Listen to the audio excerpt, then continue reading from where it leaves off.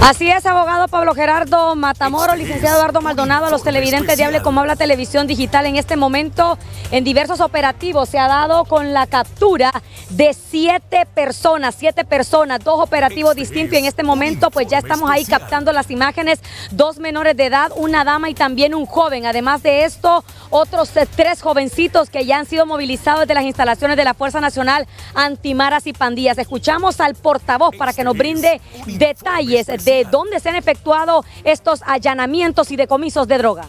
Así es, muy buenas tardes. Eh, la Fuerza Nacional Antimaras y Pandillas realizó lo, eh, lo, que es una vigilancia y seguimiento en la colonia Pradera, la cual dio como resultado la detención de cuatro personas, entre estas una persona de sexo femenino. La persona de sexo femenino responde al nombre de Stephanie Michelle Martínez, de 19 años de edad, alias la Stephanie. Eh, la otra persona mayor de edad es Brandon René Cruz Escobar, de 22 años de edad, alias La Rana. Un menor de edad, alias El Culicha, y el otro menor de edad, identificado como alias El Duende. Estos detenidos en mención son miembros activos de la pandilla 18 y se dedicaban a cometer el delito de extorsión en el sector de la pradera. Al momento de su decomiso se le decomisó lo que fueron eh, dinero producto de extorsión que había realizado una de sus víctimas. Eh, se han remitido a los juzgados correspondientes por suponer responsable de cometer el delito de extorsión. Asimismo, hacemos un llamado a todas las personas que son víctimas del delito de extorsión que sigan denunciando a la línea de 143 que gracias a ellos se están dando estas detenciones.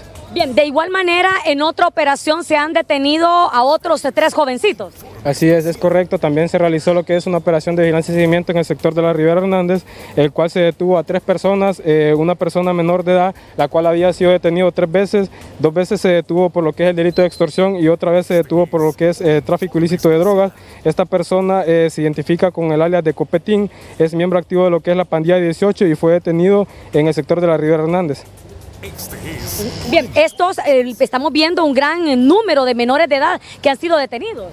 Es correcto, eh, hoy en día eh, las estructuras criminales están utilizando los que son menores de edad para realizar lo que son los cobros de extorsión, también para participar en sicariato y eh, es un llamado a la reflexión de todos los padres de familia que siempre tengan cuidado con las compañías que se llevan nuestros hijos y que presten atención pues a las conductas irrelevantes que están causando en ellos. Así es, bueno, muchas gracias al portavoz de la Fuerza Nacional Antimaras y Pandillas que nos ha brindado detalles sobre estas capturas y de igual manera ahí se encuentran las imágenes del decomiso de la buena cantidad de supuesta marihuana que se les ha pues incautado a estos jóvenes y de igual manera un arma con sus municiones. Importantes detenciones que se dan aquí en el norte del país y por supuesto se las presentamos a través de Hable como habla televisión digital gracias a las imágenes del Toro Menjiva. Regresamos nuevamente con ustedes hasta el estudio.